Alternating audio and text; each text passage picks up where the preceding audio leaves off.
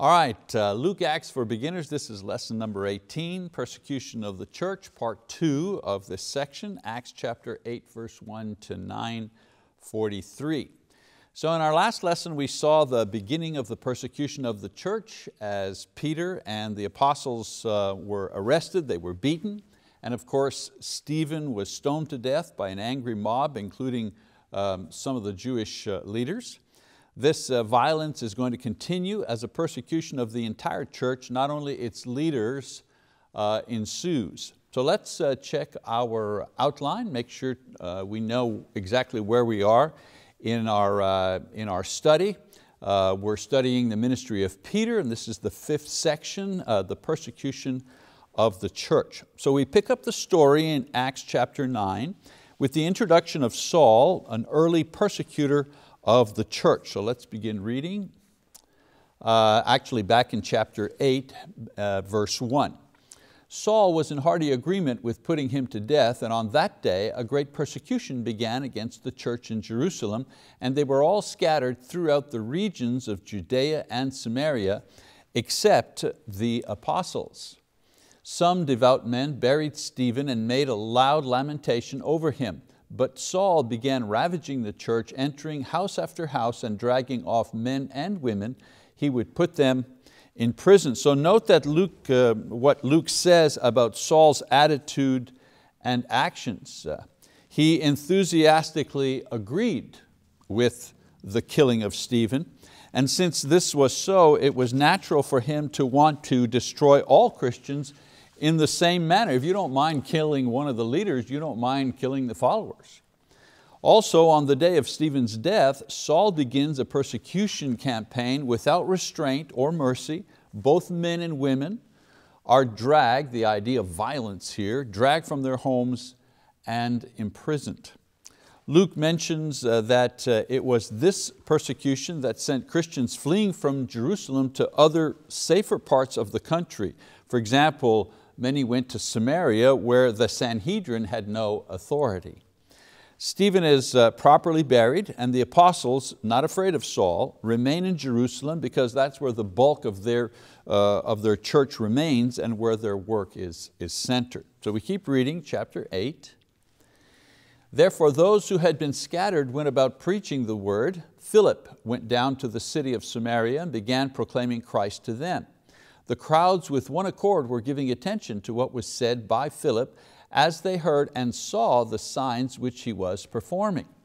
For in the case of many who had unclean spirits, they were coming out of them shouting with a loud voice, and many who had been paralyzed and lame were healed.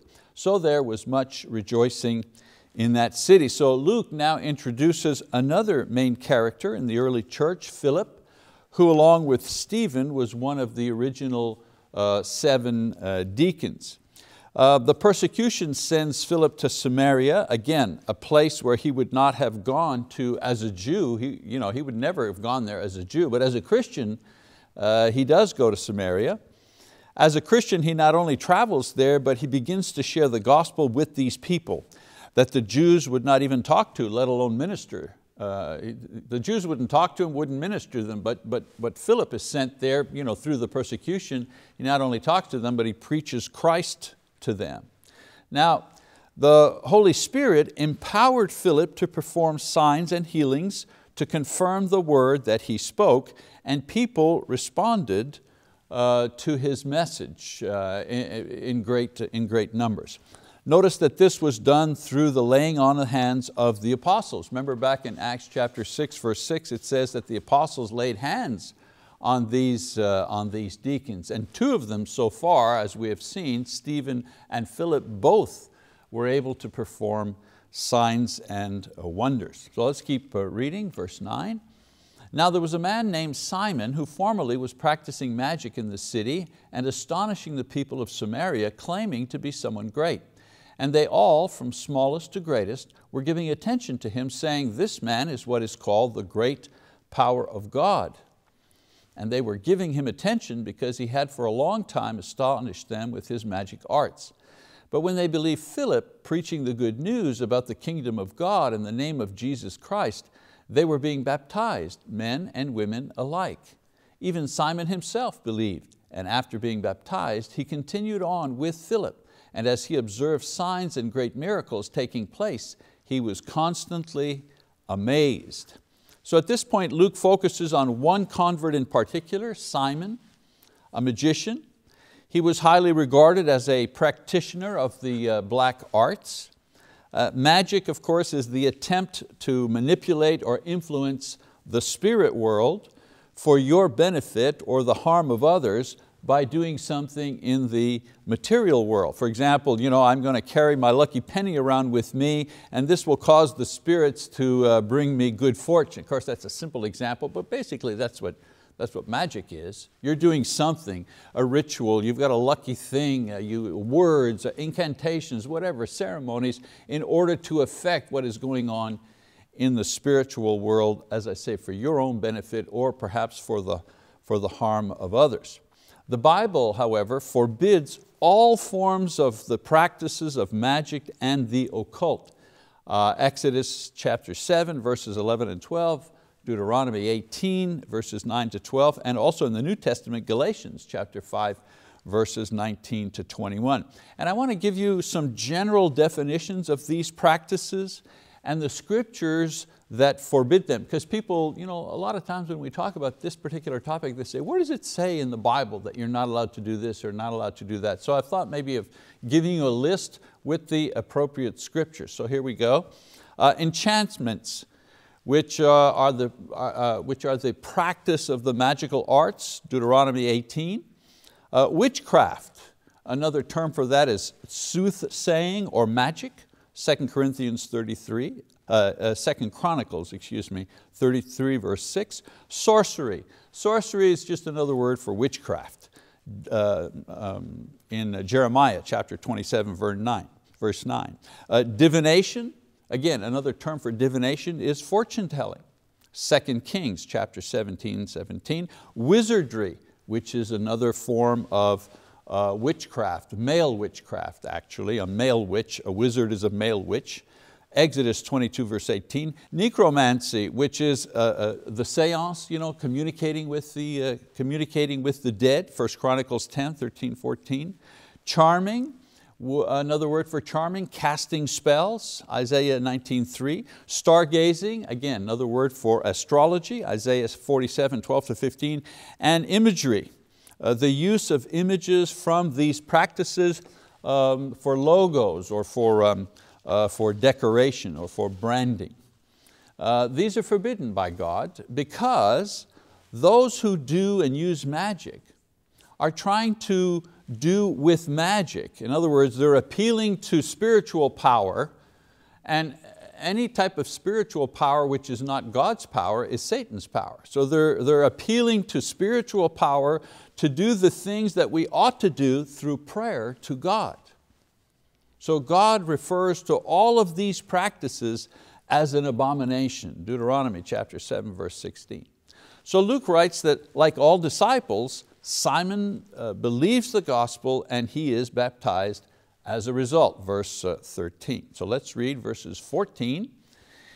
It says, now when the apostles in Jerusalem heard that Samaria had received the word of God, they sent them Peter and John, who came down and prayed for them that they might receive the Holy Spirit. For he had not yet fallen upon any of them, they had simply been baptized in the name of the Lord Jesus. Then they began laying their hands on them and they were receiving the Holy Spirit. Okay, so this passage is better understood if we review the meaning of the two terms described as the work of the Holy Spirit here. Remember previously we were talking about the indwelling and the empowering. Well, understanding the difference between these two things helps us to understand this passage. So the indwelling, the indwelling, the Spirit of God dwells within the Christian. When does that happen? When that uh, individual becomes a Christian. Acts 2.38, repent, let every one of you be baptized in the name of Jesus for the forgiveness of your sins and you shall receive the gift of the Holy Spirit. That's the indwelling, happens at baptism.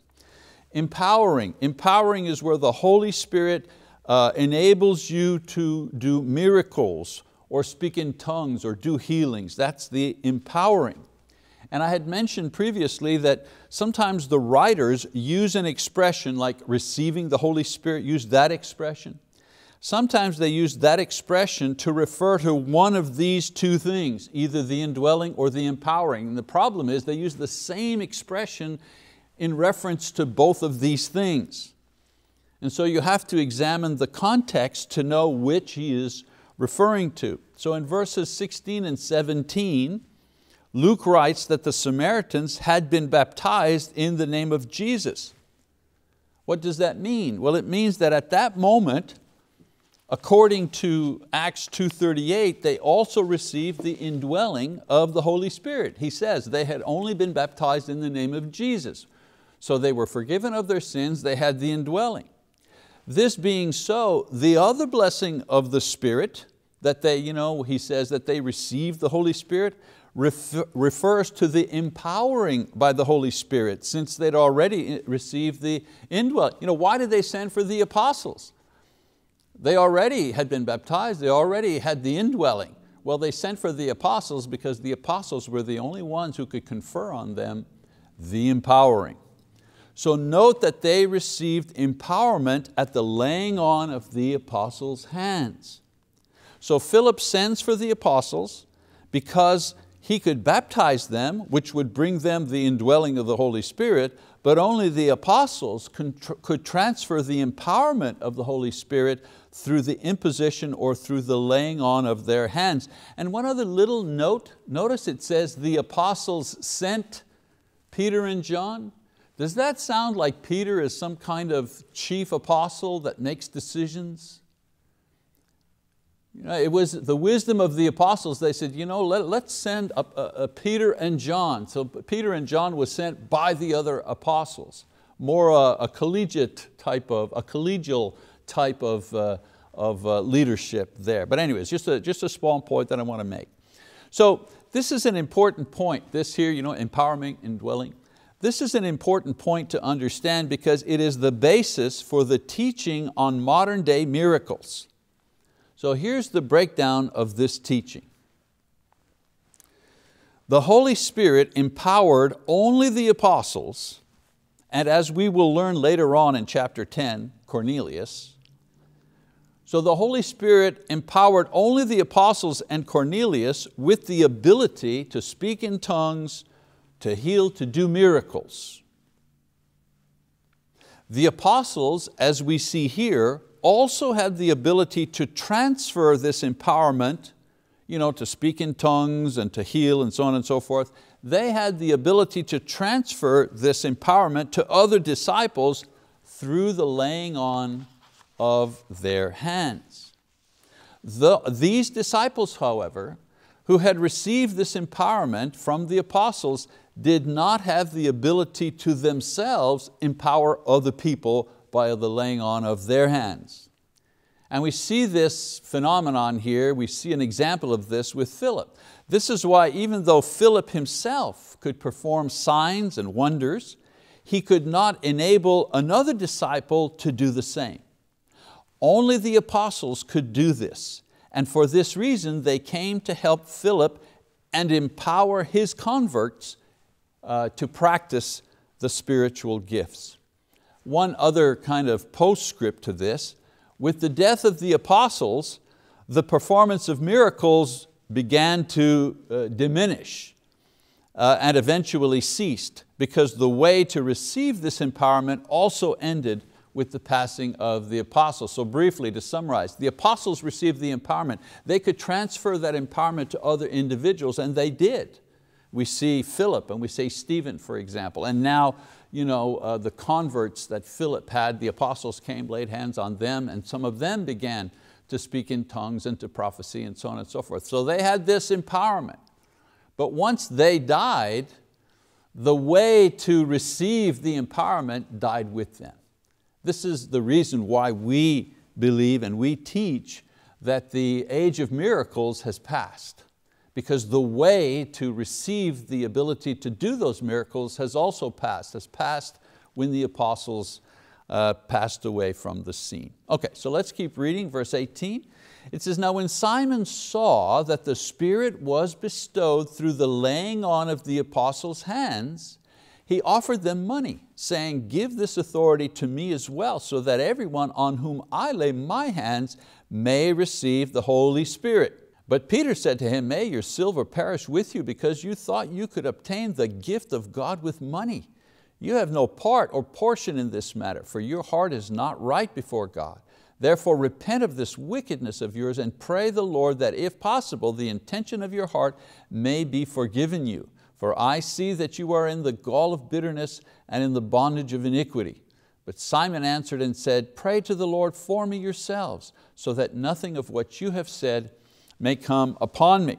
So Simon, notice here, Simon sees that the transfer of spiritual power is done by the laying on of hands of the apostles he sees that the ones uh, empowered speaking in tongues and doing the kind of things that Philip was doing. So he makes the connection you know, between the laying on of hands of the apostles and the empowerment.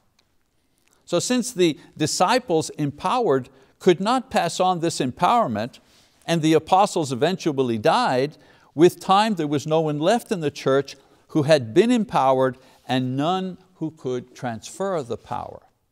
Paul even teaches that these abilities and powers would eventually disappear once the full revelation from God was recorded and preserved. 1 Corinthians uh, chapter 13, verses 8 to 10, if you're interested in, in that particular idea. Now, this is the short version of the reason that we do not believe that God empowers people today with the ability to speak in tongues and to heal or to do miracles. Of course, God can do what He wants to do, but according to the scriptures, He does not in the modern age. With the Bible, we have all that we need to win souls, to build up the church, and to mature uh, the members of the church uh, as Christians. 2 Timothy chapter 3, 15, 16, 2 Peter chapter 1, verse 3, and Romans 1, 16. All of these passages declare that the Bible is enough. We have what we need. You know, uh, Romans 16, uh, Paul says, I'm not ashamed of the gospel because it is the power of God unto salvation. So the gospel, we have it. We don't need miracles to convert people anymore because we have the entire record of the New Testament. We have the record of the miracles. We have the record of the resurrection of Jesus. And of course, as we are studying, we have the record of how the church was established and the, the mighty works that the apostles and others did at that time. So those who claim to have this power, they do so in opposition to scripture and they have difficulty in demonstrating objectively that their power and their healings are similar to that which is described in the New Testament. So there are a lot of people going around saying, oh, I have this power, I can speak in tongues, uh, you know, I can heal people, but they, they can't do it to the degree and in the way that it was done in the New Testament. In the New Testament, you know, Peter, he healed someone who was sick, but he could also raise someone from the dead. Today, there's certain illnesses that can be healed, quote, and if they can't be healed, it's the fault of the person who's ill. They don't have enough faith, but that, you don't see that in the work of the, uh, of the apostles in the New Testament. For example, the miracle of tongues in the Bible is described as the ability to speak in various human languages not known or studied by the speaker. It's as if I began to speak Mandarin all of a sudden. I've never been to China, I've never studied that language, but the gift of tongues would be the fact that I all of a sudden would be able to communicate with the Chinese person in his own language. Okay?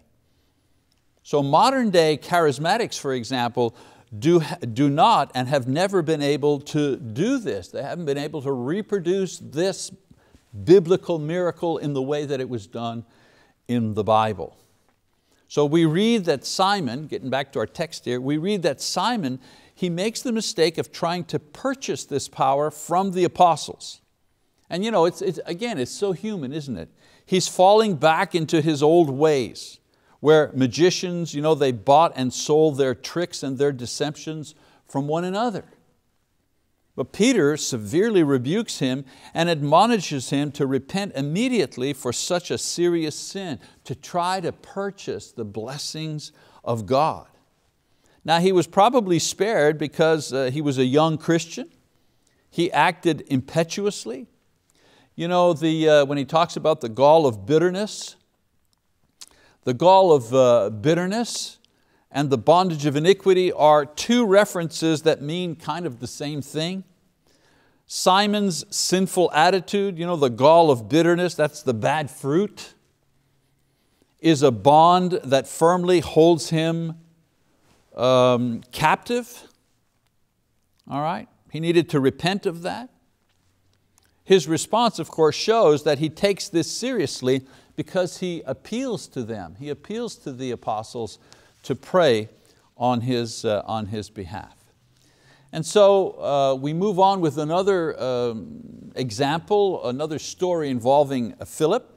He includes this second account of Philip's ministry, this time to a Gentile convert to Judaism from Africa. Note that uh, Philip's evangelism ministry was quite dynamic in that he was already reaching out beyond the borders of the Jewish nation with the gospel message, first to the Samaritans and now um, uh, to, a, um, uh, to a Gentile proselyte to the Jewish faith. In other words, someone who was, a, who was not born a Jew, he, uh, he was a Greek, a Gentile, but he had been converted to uh, Judaism. So in the story, and I think which is familiar here, uh, Philip is directed by an angel to this man who uh, the Bible says was a keeper of the treasure for the queen of Ethiopia. Not only a convert to Judaism, but he was also of a different race. He was from Africa. Luke recounts how Philip rode along with this man and answered his questions concerning the scriptures that this, you know, this, uh, this convert was reading. Philip uses this opportunity to preach the gospel to this man and the, this person uh, immediately responds. So let's just read a section of it in uh, chapter 8, verse 34. It says, the eunuch answered Philip and said, please tell me, of whom does the prophet say this? Uh, and we, we learned that he's been reading the book of Isaiah. So it says, uh, of himself or of someone else? Then Philip opened his mouth and beginning from this scripture, he preached Jesus to him. As they went along the road, they came, as they went along the road, they came to some water. And the eunuch said, look, water, what prevents me from being baptized? And Philip said, if you believe with all your heart, you may. And he answered and said, I believe that Jesus Christ is the Son of God. And he ordered the chariot to stop. And they both went down into the water, Philip as well as the eunuch, and he baptized him. So note that the eunuch's initial response after hearing the gospel was to inquire about baptism. I wonder why. I wonder why. This shows two things. First, the command to be baptized is part of preaching the gospel. So it shows that. And secondly, being baptized is part of one's response of faith to the gospel. Now one other point not mentioned in the story itself is that because this man was a eunuch, he was considered a proselyte of the gate by the Jews. And being a proselyte of the gate meant that he was barred from entering the inner temple area, Deuteronomy chapter 23, verse 1. This made him a kind of a second class convert to Judaism, the lowest rung on the ladder of acceptance into the Jewish religion. With his conversion to Christianity, however, he became, as Peter later wrote in 1 Peter, and I want to read that, he says, but you, speaking of Christians, but you are a chosen race, a royal priesthood, a holy nation, a people for God's own possession, so that you may proclaim the excellencies of Him who has called you out of darkness into His marvelous light. So isn't it amazing, this, this eunuch here? He goes from being one who could go to the gate of the temple but no further.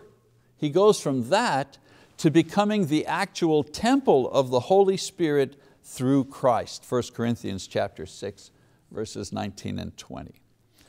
Luke, uh, so we'll leave off Philip here. Luke now shifts the focus of his narrative from the work of Peter and the early church to the conversion of its chief antagonist who was leading the persecution against them, and that was Saul of Tarsus.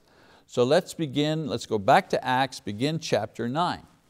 Now Saul, still breathing threats and murder against the disciples of the Lord, went to the high priest and asked for letters from him to the synagogues at Damascus, so that if he found any belonging to the way, both men and women, he might bring them bound to Jerusalem. As he was traveling, it happened that he was approaching Damascus, and suddenly a light from heaven flashed around him, and he fell to the ground and heard a voice saying to him, Saul, Saul, why are you uh, persecuting me? So I'll just stop right here for a moment. Note that uh, Saul was not merely an opponent of the religion and had kind of you know, theological objections or theoretical objections to this faith. He was, he was out to destroy it as a religion and kill or imprison those who practiced it. I mean, he, he had been confining uh, his attacks in and around Palestine, but was now expanding his attacks uh, outside the country. That he sought authorization from the Jewish leaders to arrest and imprison Jewish converts to Christianity in another city um, uh, confirms two things. One, that the Jewish leadership was complicit in the persecution of Christians. And two, Saul was their official leader um, in charge of this effort. So let's keep uh, reading verse three and four I just read and we go on to five and seven, and he said, who are you, Lord? So, so, so Saul now has a, a vision. Uh, Jesus appears to him, and he says, who are you, Lord?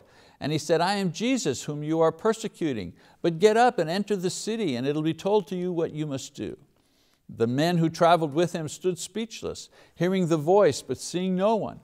Saul got up from the ground and uh, though his eyes were open, he could see nothing. And leading him by the hand, they brought him into Damascus. And he was three days without sight and neither ate nor drank. So God chose the gospel's chief enemy to bring the gospel to the Gentiles. Paul's encounter with Christ stops his persecution and renders him uh, helpless. He spends several days fasting and praying, and you know what? As a devout Jew, that's exactly what a devout Jew would be doing in circumstances like these. Uh, God gives him three days to ponder Jesus' question, why are you persecuting me? Saul's, uh, Saul rather was so sure of his mission you know, to destroy Christianity because it's, it, it was false and it was a threat to Judaism that he was willing to kill and imprison both men and women all in good conscience. I mean, he, he, he believed he was right was on his side. Saul must have also wondered what God would have him do. Luke now introduces another character and the task that this man was given to perform. So we keep reading. Now there was a disciple of Damascus named Ananias, and the Lord said to him in a vision, Ananias, and he said, Here I am, Lord. And the Lord said to him, Get up and go to the street called Straight and inquire at the house of Judas for a man from Tarsus named Saul, for he is praying.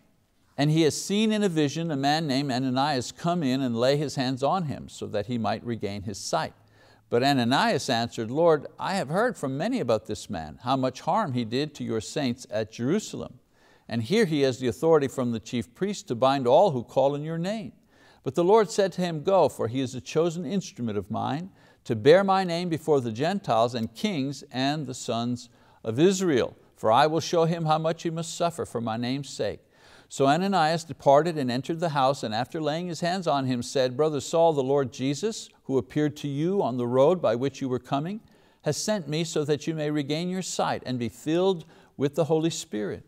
And immediately there fell from his eyes something like scales, and he regained his sight, and he got up and was baptized. And he took food and was strengthened.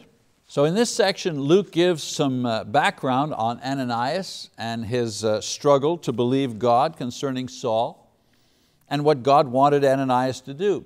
Now in chapter 22, we find out that Ananias preached the gospel to Paul and then baptized him. Yet another biblical example of a person immediately responding to the gospel with baptism as the initial expression of one's faith in Jesus. Now if you put this account with the one in chapter 22, there's an order in Saul's conversion that emerges. First of all, he's called, miraculously, but he's called by Jesus. Then he is taught the gospel by Ananias. Then he is baptized in order to remove his sins, especially the murder of Stephen and the, the violence toward other Christians. And then we find out he begins to minister, he begins to preach, actually a little too soon. By removing Saul as an aggressor, the church once again has a period of peace and growth. So we keep reading, verse 20. Now for several days he was with the disciples who were at Damascus and immediately he began to proclaim Jesus in the synagogue saying, He is the Son of God. And those hearing him continued to be amazed and were saying, Is this not he who in Jerusalem destroyed those who called on this name and who had come here for the purpose of bringing them bound before the, um, before the chief priests? But Saul kept increasing in strength and confounding the Jews who lived at Damascus by proving that this Jesus is the Christ. When many days had elapsed, the Jews plotted together to do away with him. But their plot became known to Saul. They were also watching the gates day and night so that they might put him to death. But his disciples took him by night and let him down through an opening in the wall, lowering him in a basket. So Saul, because of notor uh, notoriety, and, and, and, and the grasp of his scriptures, he, he, he immediately becomes a defender of the faith and is successful as a preacher. I mean, people want to see him. This is Saul. You know, the inquisitor converted to Christianity. And in addition to that, he knows the scriptures. He's mighty in the scriptures, so he's, a, he's, he's giving a mighty witness. Just as Jesus and Peter did, not Philip because he served in areas where the Jewish leaders had no authority or they had armed guards you know, in Samaria and Damascus. Saul runs into opposition from the leading Jews who are plotting to kill him for preaching Christ. So just as Peter and, and, and Jesus ran into trouble, is the point I'm making, as they preached in their area, and Philip didn't have trouble because he was preaching in Samaria where the, you know, the, the Jewish leadership had no authority, Paul is preaching in the synagogues in Damascus. And so he runs into trouble with the Jewish leadership uh, in that area. So they report, uh, excuse me, they resort to this tactic because they are unwilling and unable to debate or humiliate or even distract him.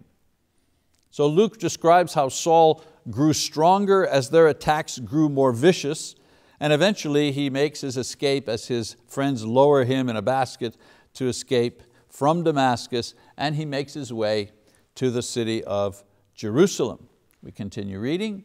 When he came to Jerusalem, he was trying to associate with the disciples, but they were all afraid of him, not believing that he was a disciple. But Barnabas took hold of him and brought him to the apostles and described to them how he had seen the Lord on the road and that he had talked to him and how at Damascus he had spoken out boldly in the name of Jesus. And he was with them, moving about freely in Jerusalem, speaking out boldly in the name of the Lord. And he was talking and arguing with the Hellenistic Jews, but they were attempting to put him to death. But when the brethren learned of it, they brought him down to Caesarea and then sent him away to Tarsus. So the church throughout all Judea and Galilee and Samaria enjoyed peace, being built up and going on in the fear of the Lord and in the comfort of the Holy Spirit. It continued to increase. Now some scholars believe that Saul returned to Jerusalem after you know, about one to three year, uh, about a one to three year uh, period. Luke writes that this happened, that happened, but you know, we're not talking one day after another. You know, he, he leaves if you wish, certain gaps in, in time there. Uh, communications being what they were at that time, the news of him and his conversion may have been carried back you know, in bits and pieces.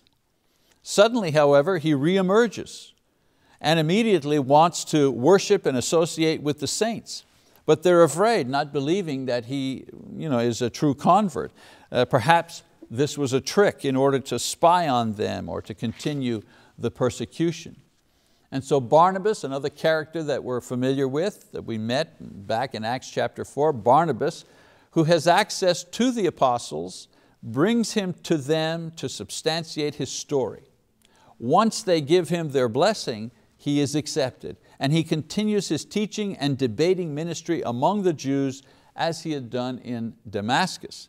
Of course, the same thing that happened there, you know, the plan to kill him you know, back in Damascus, happens in Jerusalem. This time plotted by the Hellenistic Jews, the same group that stoned uh, Stephen to death. Luke writes that uh, the brethren uh, brought him out of the city safely and sent him back to friendlier confines of his home, uh, hometown in Tarsus. Luke finishes this section by describing the pace and peace and growth of the church experienced now that their chief opponent, Saul, had been converted and was ministering far away in the north in his own city.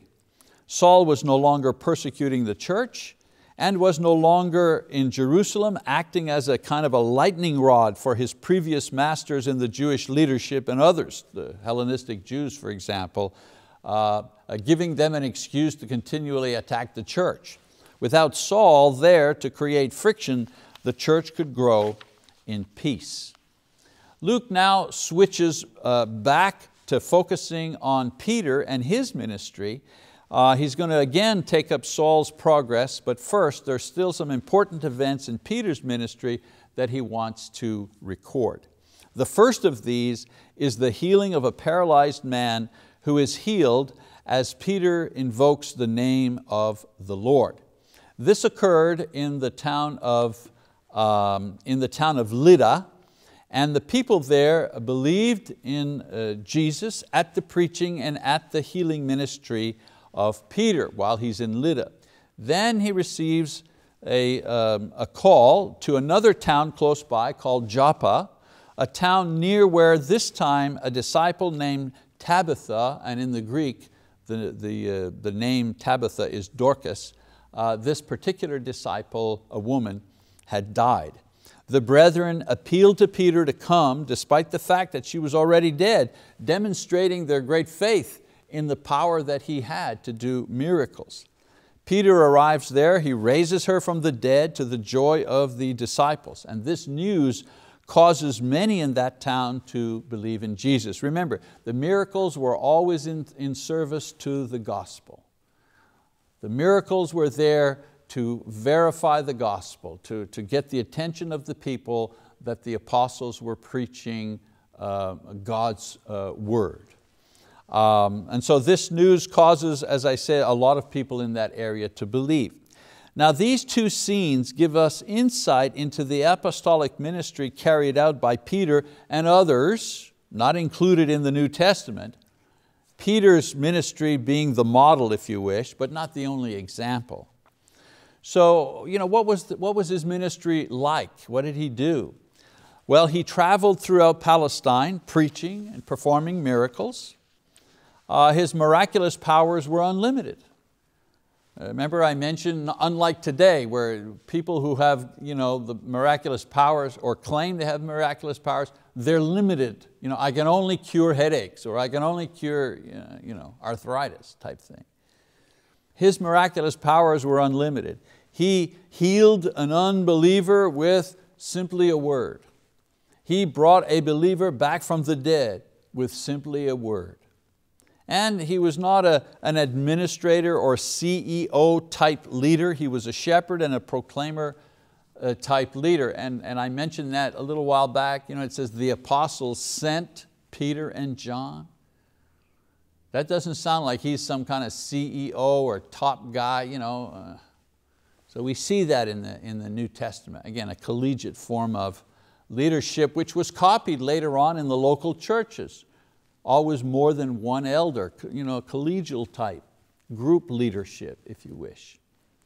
So in the next session, Luke is uh, going to describe one of the most significant events in Peter's ministry as an apostle, and we will cover that uh, next week. All right, so a couple of lessons here before we close out. First of all, all roads lead to Jesus. In teaching the eunuch, for example, Philip begins in Isaiah, where the eunuch was reading, and he showed how Isaiah's prophecies pointed straight to Jesus. Everything in the Bible is about or supports or leads to and explains the person and the ministry of Jesus. You can start anywhere and go forward or go backward, it always points to Jesus. So if after reading the Bible you arrive at the conclusion that Jesus is not the divine Savior, you have read the Bible incorrectly because that's its overall message. Uh, lesson number two, we all become Christians in exactly the same way. You will note all the way through the book of Acts, people become Christians by faith in Christ and a faith that is expressed in repentance and baptism. The 3,000 at Pentecost, they were baptized. The Samaritans who believed were baptized. Simon the sorcerer who believed was baptized. The Ethiopian eunuch, once he understood and believed, was baptized. Saul, the Jewish Pharisee, was baptized. The debate, you know, whether one needs to be baptized or not, that is quite a recent debate.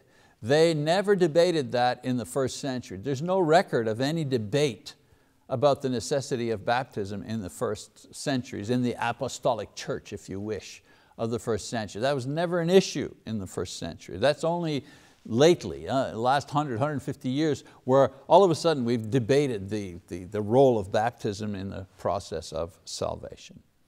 So the Bible is very clear on this topic and provides at least 10 examples just in the book of Acts alone that show people converting to Christianity were first baptized. So don't ever doubt the necessity and the role of baptism. Okay, so next time that we are together, we will, uh, uh, we will um, uh, read through or cover Acts chapter, uh, Acts chapter 10 verse 1 to Acts chapter 12 verse 25 and I hope that you will uh, read that before uh, we get together next time. All right, thank you very much for your, for your attention. God bless you.